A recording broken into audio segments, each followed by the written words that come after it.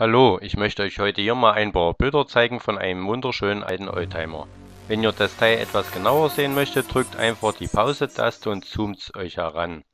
In meinem Kanal findet ihr auch noch viele weitere Oldtimer aus DDR-Zeiten, die ihr euch auch alle gern ansehen könnt.